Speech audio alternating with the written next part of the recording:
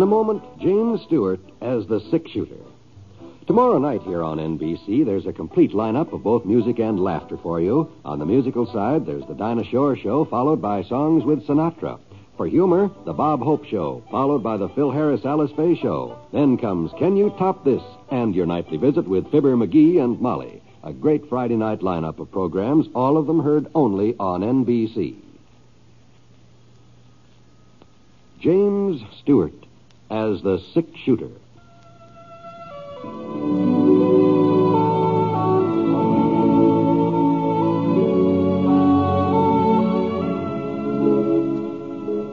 The man in the saddle is angular and long legged. His skin is sun dyed brown. The gun in his holster is gray steel and rainbow mother of pearl. Its handle unmarked. People call them both the six shooter.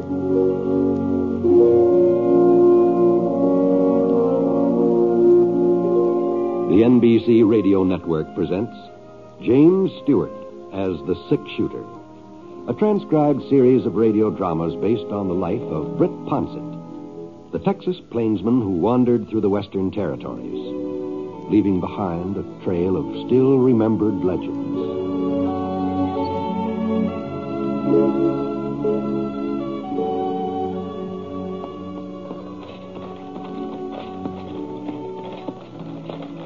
Turning in here, Michael. Huh?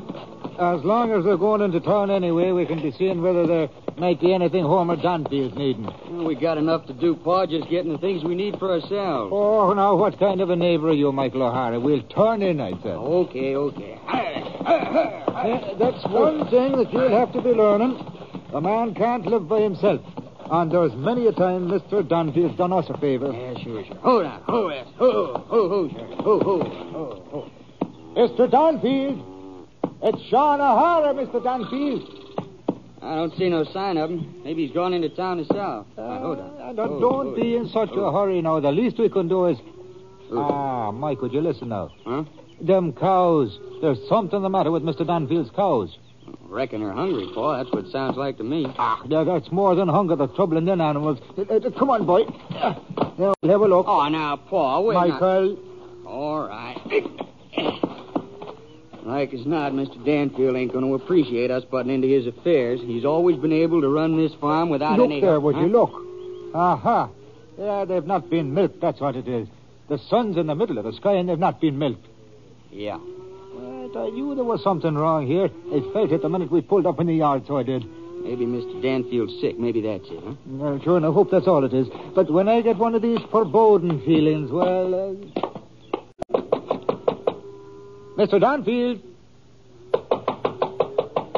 Try it, Pa. See if it's locked. Oh, no, I don't know. It it doesn't seem right to enter another man's house when he's not That's for his own sake, ain't it? Here. If he ain't home, we'll leave him a note explaining the we... Pa, What is it, Mike? over there, across the room by the sofa. Michael, that's Mr. Dunfield. Oh.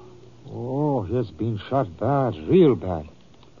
Uh, but there's the spark of life left into him. Would you get the doctor, Michael, as fast as you can, and I'll stay here till you Yeah, come yeah, back. sure, boss, Uh, sure, And the sheriff, too, the sheriff. You best bring the sheriff. Yeah, Pa. That poor Mr. Dunfield.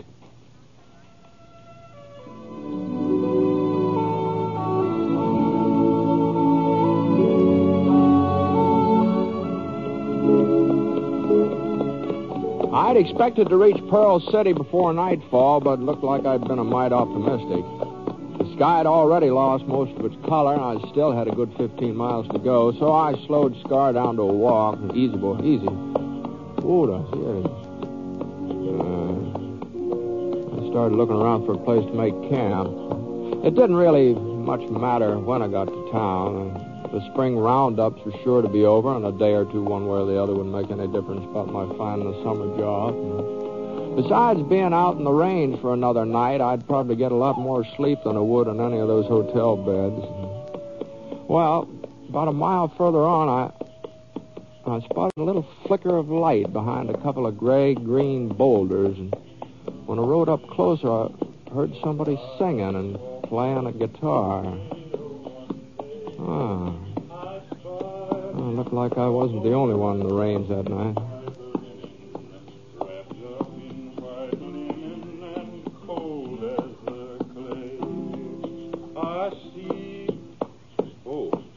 Howdy. Howdy. Wow, that sounds real pleasant. Mind if I use your fire for a spell? You're more than welcome to it, mister. Climb down from your horse and make yourself at home. Wow. Thanks very much. I'm heating up some beans. Plenty for both of us. Well, that's mighty considerate of you, but I've got some grub of my own here. Well, there's no point in wasting it, is there? Like I said, I got more than enough here. That is, if you don't mind eating beans. No, no, no. I reckon that's what I'm carrying, too. My name's Ponset, Britt Ponset. Well, I'll be darned. Huh? I sure heard about you, Mr. Ponset, and that gun of yours. Yeah.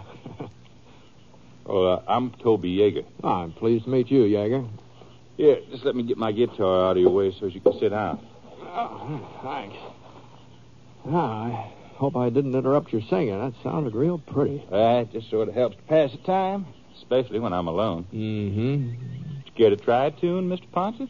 Oh, no, no. I'm I'm afraid I'm not much of a singer. You just go right ahead. Well, ain't anybody going to hear us, excepting a few coyotes, and they're not likely to be very critical. What do you say? Shall we give our vocal cords a little exercise while we're waiting for them beans to heat up? Well, as I said... Come on, I, you know, I like that third verse. Oh, beat the drum slowly and play the fife lowly. Come on, Mr. Ponset. Play the dead march as you carry me along. Take, me to the green valley where lay the sod o'er me. For I'm a young cowboy and know I done wrong.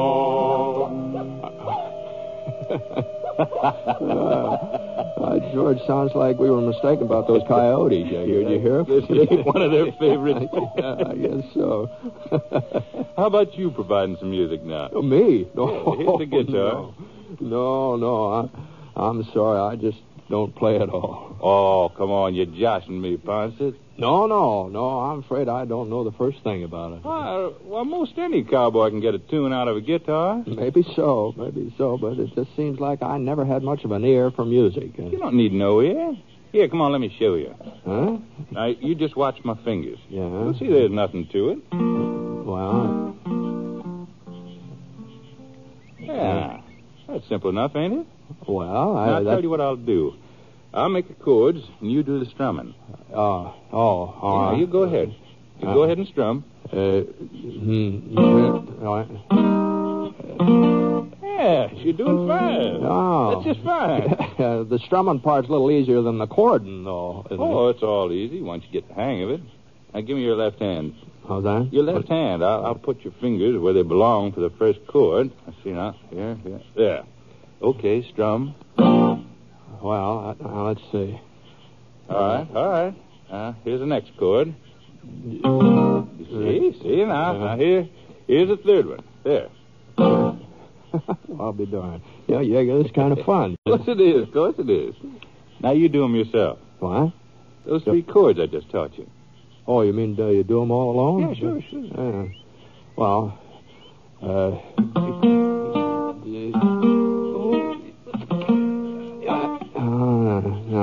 no, this contraption just isn't for me. Oh, you mustn't give up yet. A little more practice, you'd be a first-rate guitar player. No, I was mi- mighty flattering, Yeager, but I think I'd better stick to my humming. Well, You go right ahead now. Play some more. Mean, that that tune you were trying to teach me, that sounds real pretty. in this one?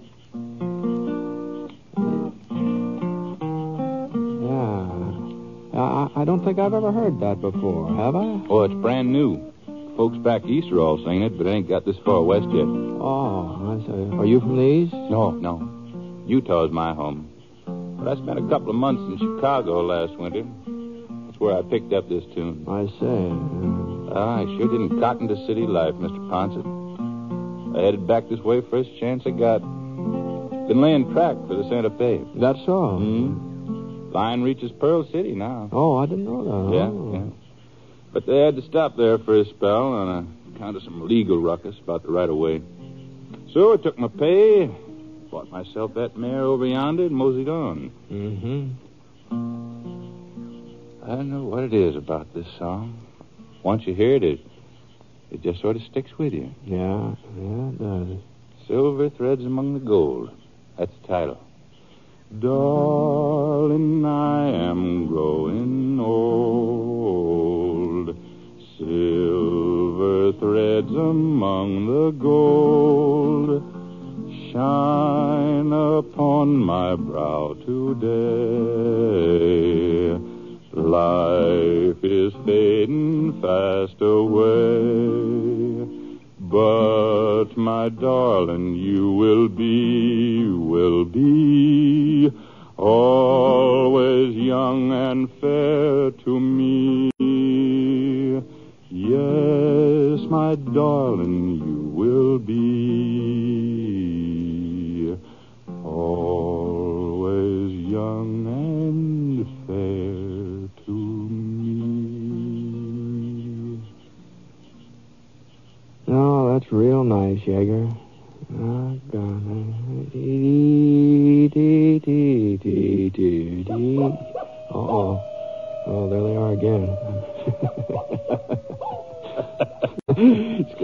Verses, but that's the only one I can remember. You care to join in? no, no, I think I've bothered the coyotes enough for one evening. well, it looks like them beans are getting hot. Suppose we can interrupt our concert until after supper. Probably sound better on a full stomach anyhow. no, I don't know, Yeager. In my case, I reckon it wouldn't make much difference.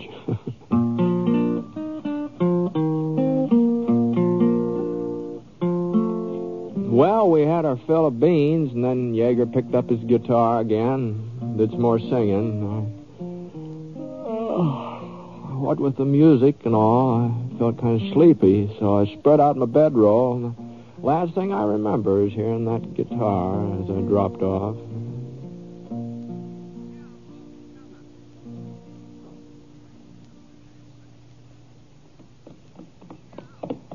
The next morning after we had breakfast, Yeager headed on south and I swung north toward Pearl City. A couple hours later, I was riding past the farms just this side of town. I noticed a buggy and four or five horses pulled up in Homer Danfield's front yard. Oh, Homer had always lived alone ever since I could remember. He never had been much of a man for company either, so I turned off the road into the lane leading to the house. Sean O'Hara was sitting on the steps whittling. On the size of the pile of shavings at his feet, figured he'd been doing for quite a spell. Whoa, whoa, Scar, whoa, whoa. Oh, Sean. Huh? Hi. Don't you remember me? Britt Ponset. Oh, why, for goodness sake, Mr. Ponset, I never had no idea you was in these parts. Lord, it feels a miracle you've come. What, what's, what are you talking about, Sean? Oh, it's a terrible thing that's happened to Homer Dunfield. What? What? Him, him lying in there right now, hovering between life and death, so he is. Oh, well, I'm sorry to hear that. He's pretty sick, huh? Has been shot, Mr. Ponset. A big hole right over his chest. Is that so? Uh-huh. Uh, it was along about noontime yesterday when we found him, my son Michael and myself. Oh, the poor man. Well, well, just what happened, Sean? Well, now, if you ask me, it was a thief who done it. Sure, and from, from the looks of his house, somebody turned things every which way searching for valuables. And besides, anybody who knew Homer Donfield, anybody from around Pearl City, that is, they'd have no call to try to kill him. He was a well-liked man, Mr. Ponce. Well, he sure was. Yeah. Uh-huh. Yeah, and the doctor's staying with him almost 24 hours now. And Sheriff Gentle, too. But you know, the poor Homer has not breathed a conscious breath during the whole day and the night that followed. Yeah, and like as not, he'll never be able to tell us just exactly what... Oh, hello, Sheriff. Huh? Oh, howdy, Britt. Where'd you come from? Oh, just passed through on my way to town, and Sean's been telling me about Homer. Uh-huh. Yeah, has there been any improvement, Sheriff? Well, I wouldn't exactly call it an improvement. He did come to for a couple of minutes. Oh? You don't say. Yes, he told me what he could. But I'm afraid it won't do much good. The fellow broke in night before last, along about midnight. He was a stranger. Homer had never seen him before. And he didn't get a very good look at him either. Well, he was trying to rob Mr. Dunfield. Is that what happened? Yeah, yeah, that's the way it was. Uh-huh. Homer heard him prowling around in the parlor and come downstairs. The fellow let fly with a slug, caught Homer right under the shoulder. Uh, he's lost a lot of blood. The doc thinks maybe one of his lungs is nicked, too. Now, that sure is too bad. Yeah. Well, not much I can do without a description, evidence. Uh, sure, no one couldn't he tell you anything at all about the man? No, as far as Homer can recollect, he was medium height, medium build. That's about all. Except for the song he was singing. His song. Yeah. Homer didn't pass out right after he was shot. not entirely. He remembers hearing the fellow searching around and uh, humming and singing to himself while he was at it. Something about silver and gold and getting old. Homer ain't too clear in his own mind, and well, as far as I can tell, it's a song I never heard before. You ever hear it, Sean? No, it don't sound familiar to me, Sheriff. What about you, Britt? Britt? I've heard it, Sheriff. Huh? At least I've heard something mighty similar. Mighty similar.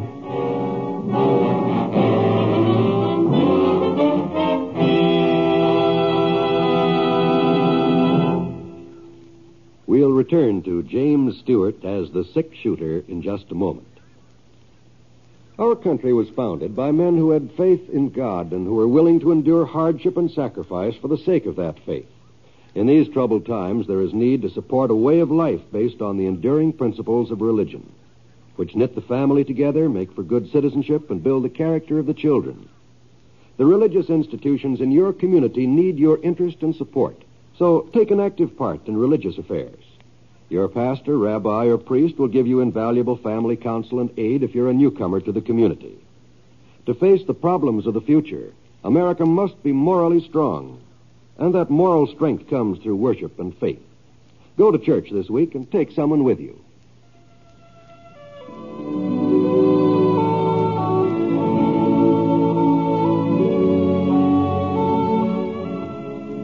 Now, Act Two of The Six Shooter, starring James Stewart as Britt Ponset.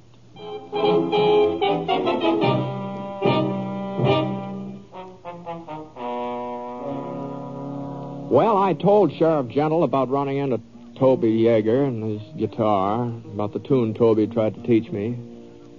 Of course, that didn't prove that Yeager had anything to do with shooting Homer Danfield, even though it was a new song. Well, like Toby said, it was popular back east, and there might be other folks who knew it out west, too.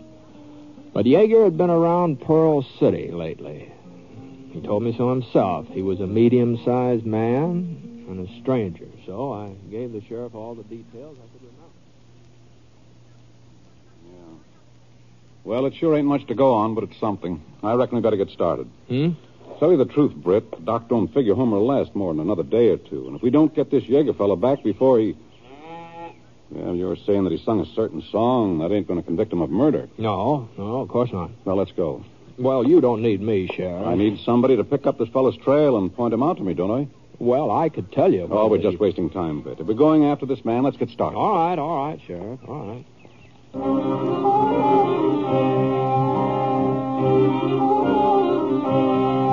It took us a couple hours to ride back to the place where Yeager and I had camped for the night. When we'd split up, he said he was heading south, so the sheriff and I looked around for his trail that way. We didn't have too much trouble finding it. and There was only one thing. He hadn't gone south, leastwise not for very long. As soon as he hit Little Creek, a mile or so from the camp, he turned west towards Saddle Mountain. We were able to make pretty good time the rest of the day, and that trail didn't look like he was in too much of a hurry, so I figured maybe we'd been gaining on him. We didn't stop for supper, we just kept right on going, and even after nightfall, there was enough moon so we could still make out his tracks. Well, about nine o'clock, we were moving through the pass between Saddle Mountain and Porcupine Peak. We're getting pretty high up, too. Not very many trees, just a scrub pine every once in a while. Easy, Scrub. Whoa, whoa, whoa. There. Hold up a minute, Sheriff. Huh? I. I thought I heard something. Huh. No, I guess I was wrong. Or maybe. Maybe the wind's changed. Or, here. No, no. There it is again. You hear it? You Hear it? Yeah. Yeah, he must be up there. Right around that bend. I think we better move in on foot. No, I. I rode up on him last night. He seemed tame enough. Well, okay.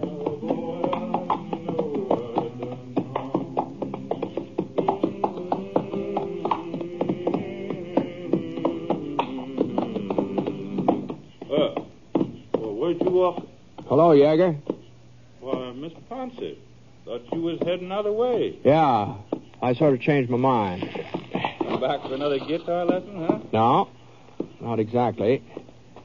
Yeager, this is Cleet Gentle from Pearl City. Howdy, Mr. Gentle. You, uh, you two never met up before, Yeager, while you were working in Pearl City. No? No, not that I recollect. Why? Mr. Gentle's the sheriff there. Sheriff? That's right. Well, I was only in town for a few days, and I was sort of on my good behavior. Leastwise, I, I never had no run-in with the law. Yeah. There's something I can do for you, gents? Yeager, a fellow was shot the other day. Shot and robbed. Farmer just outside of town. Oh? He didn't recognize the man who did it. He remembers one thing about him, though. A song he was singing. Well, I I reckon I ain't the only man that gives out with a song once in a while, am I? No. No, but this particular song, well, it's the one you played for me last night. I played a lot of songs for you last night, Mr. Ponce. Silver Threads Among the Gold. That was the name of it. Well, You said it was a new tune, as I recall. You picked it up back east. did I? Yeah. Well, ain't you uh, kind of jumping to conclusions, Mr. Ponce? Nobody's accusing you of anything, Yeager. Well, then just what is it you want? I want you to come back to Pearl City with me. Let Homer Danfield take a good look at you, see if he can identify you. Danfield? Yeah, that's the man that was shot. He's still alive, huh? Do you think he was dead, Yeager? Oh, I, I didn't think nothing about it one way or the other. How much money you got with you? Forty, fifty dollars? Mind showing it to me? Money looks all the same, don't it? Yeah. Okay. Okay. Here. 20, 30, 40, 45, 48. $48. Well, that's what I said, about fifty bucks. That's what Mr. Danfield had stolen from his china cabinet. About $50. The money's mine. I was working for the Santa Fe. They just paid me off the other day. You're wearing a gun, I see. Well, so are you. So's Ponce. I'll take it. Sure. All right, Yeager. Let's go. You want to get started right now? As soon as you're ready. It'll take me a couple of minutes to get my pack together and my horse saddled. Well, I'll give you a hand. Thank you. Thank you, Mr. Ponce. Yeah, here. Would you mind fastening this onto the back of my saddle? I sure wouldn't want to go off and leave my guitar behind. Yeah. Yeah, I'll, I'll take care of it for you.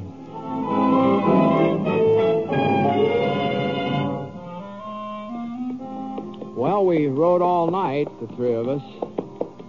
Nobody did much talking, but every once in a while, Yeager would let loose with some humming, some singing. He sure didn't seem very worried about what had happened when he came face to face with Danfield. I, I couldn't make up my mind. Maybe it was just that he had a clear conscience, or maybe he was putting up a good front for our benefit. Anyway, along about six o'clock in the morning, we were riding past the O'Hara farm. That meant we were almost there. Danfield's place would be next. Sean O'Hara came running out of the barn carrying a pail of milk, and when he saw us, he set the milk down and gave a holler. Sheriff Gentle, hold up a minute, Sheriff. Whoa now, whoa there, whoa. Oh, Boscar. Morning, Sean. Ah, aha. So you found the fellow you were looking for, I take it. Yeah, yeah, we found him. Well, it's sure too bad you went to all this trouble. All right. What do you mean? That poor Mr. Dunfield. He is no longer with us. No. He passed away a little before midnight last night. God rest his soul. Oh, Tell me, Sean, did he say anything more before he died? No, Sheriff, not a word. I see. well, Well, looks like you won't have no more use for me, Sheriff. You ain't gonna prefer charges of murder just on account of a song I happen to sing to Ponce, are you? Well, well, I guess he's right, Sheriff. Yeah. All right, Yeager. Here's your money and your gun. Thank you. Well, so long, gents. Come on, boy. Yeager, Yeah? I don't know whether you had anything to do with this or not.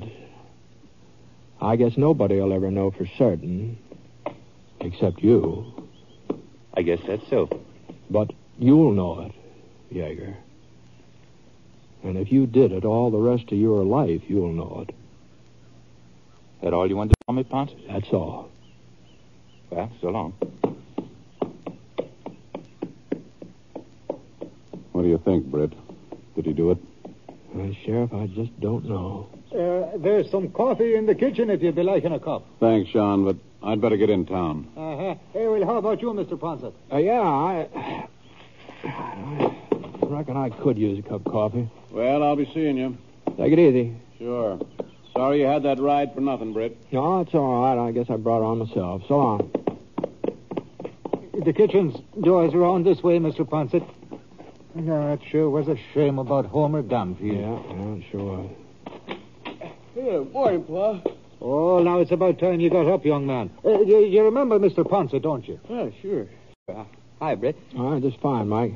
Hey, what are you doing with Toby Yeager? Is he a friend of yours? Mm, no, not exactly. What, do- you know him, Mike? Oh, well, he was working over on the railroad. We met a couple of times. Played poker over at Red Philpott's place. Now, Michael, I told you you can't afford to be losing your money. Oh, I never lost, Pa. Not when Toby was in the game. Why, he's got the worst luck any man I ever played with. Take the other night. Railroad paid him off, and he lost every cent of it. Wh- What night was that, Mike? Was that the night Homer Danfield was shot? Well, come to think of it, I guess it was. I see. I see. All right, I think maybe I'll skip that coffee for the time being, Sean. Thanks anyway.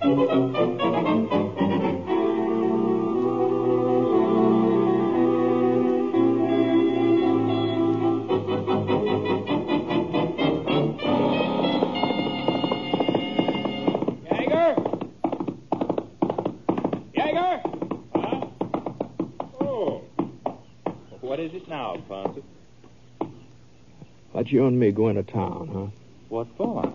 Easy going, easy. That forty-eight dollars you're carrying. That isn't Santa Fe money. What do you mean? You lost your pay the other night in a poker game, all of it. Oh? Where'd you get the forty-eight dollars, Yeager? What might be kind of hard to explain, Ponset? It sure would. Looks like you was wrong, don't it? Huh?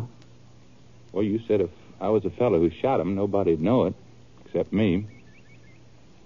You shot him, huh? Sure. Well, then I was wrong. Maybe we'd better go back to Pearl City, huh? Sure.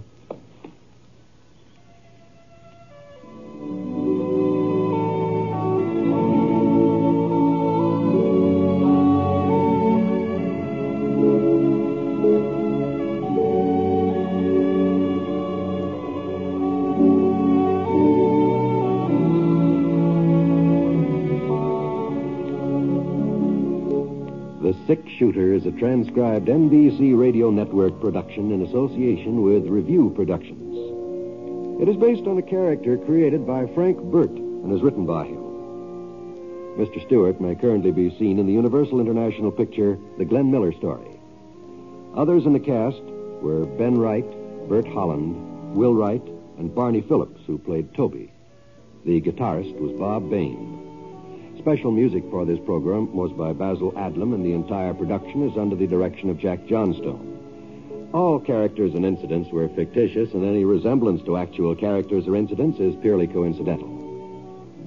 Oh, by the way, you'll be interested in knowing that the six shooter has been chosen for broadcast to our men overseas through the facilities of the Armed Forces Radio Services. This is John Wall speaking.